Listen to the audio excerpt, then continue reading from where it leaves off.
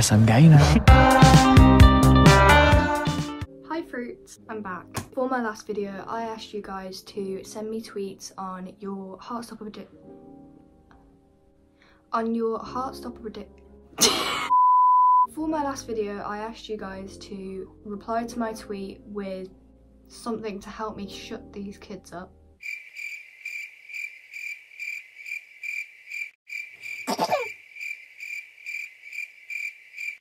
One eternity later. For my last video, I asked you guys to reply to my tweet with your season 2 Heartstopper predictions. In that video, I asked you guys if you wanted me to do a part 2 within an hour of me posting that video. The clear answer was yes. So I put up another tweet this morning and now we're gonna read the replies. Considering how hard it was for AJ to think of a reply, how funny would it be if I didn't read theirs?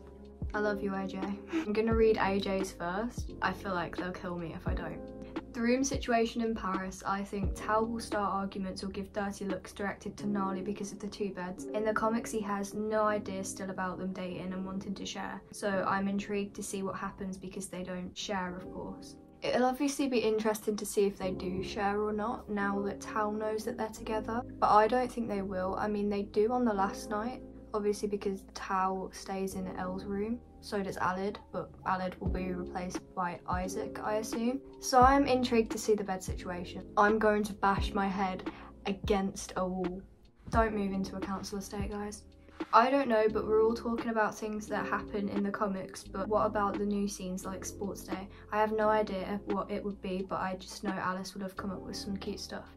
I agree, this show is based off the comics, not exactly reenacting the comics. So I'm very excited to see the new scenes that Alice comes up with. I feel like there will be a few. Sophie says, I hope they will talk more about Isaac being Aro Ace. The representation is very important and I've never seen it anywhere else. Alice has come out and said, this was before the show was renewed, that if there was to be more seasons of Heartstopper then she'd definitely look more in depth into Isaac's character, him being on the Aro Ace spectrum. I definitely agree that that community needs more representation because if it wasn't for social media, I wouldn't know that it was a thing. The only aromantic character I've ever seen is Raphael in Shadowhunters, and even then, the term aromantic isn't used. There wasn't enough representation with him because he wasn't a main character, so it'd be a good thing to see Isaac have a big part in season two.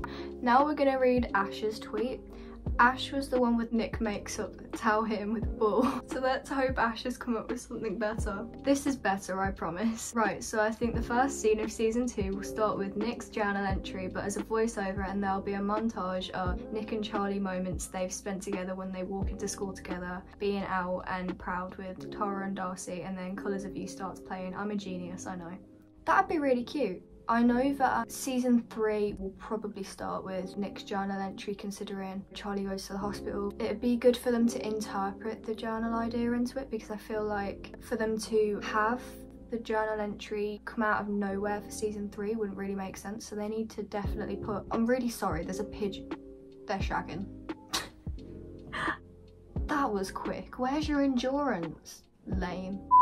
What was I saying? they should definitely include journal entries in the background. It'd be nice to have Kit voicing over what has happened the past few months. But I feel like that will happen in season three at the start when there's a time jump. It depends how much Alice manages to fit in season two and where season two ends. But if season two ends where Charlie is speaking to his parents about his mental health, then I think season three will pick up with a voiceover. If not, and we get a season four, I am adamant that season four will pick up with a voiceover of Nick explaining Fly's back. He's not going to explain that.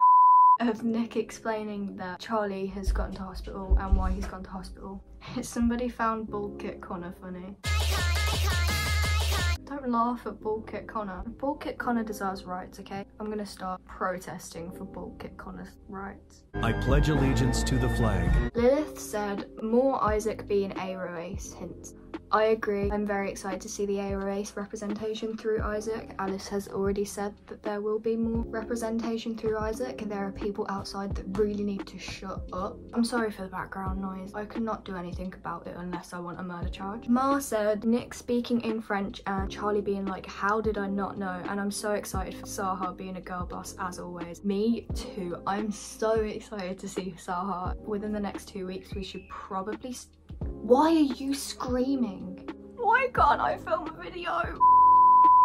Nick speaking French, I'm very excited to see Charlie's reaction to that. It made me laugh in the comics, but that also brings Nick's dad into the series because obviously it's when he's on the phone with his dad it depends how they play that out, but I'm very excited to see it. More Isaac and an episode focused on Mr. Ajayi and Mr. Farouk. I saw this article about Alice saying there could be a possible spin-off focusing on Mr. Ajayi and Mr. Farouk, which I would live for. So I don't think they would do an episode focused on them, but if they did, then I'd love it. But I really hope they're at least a backstory in it. And more Isaac, yes, I'm very excited to see Isaac. I'm very excited for Toby to get a big part. Charlie said, I think people will be gay. Ew. I don't know about that one. That's gross. I'm trying so hard to entertain people and the Wi-Fi is just not letting me. This entire video is probably going to be me yelling at kids I don't know. Did you just call me a...